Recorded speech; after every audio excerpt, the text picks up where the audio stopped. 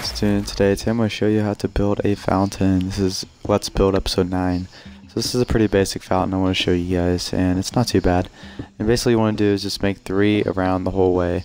And uh, you'll just connect it each way. Like diagonal will be three, the sides will be three. You'll see it. It's not too hard to figure out. And then you just want to dig it out and then fill that in with uh, stone bricks. Makes it look fancy and like an actual fountain on the bottom because fountains always have concrete or some sort of thing on the bottom that looks like that.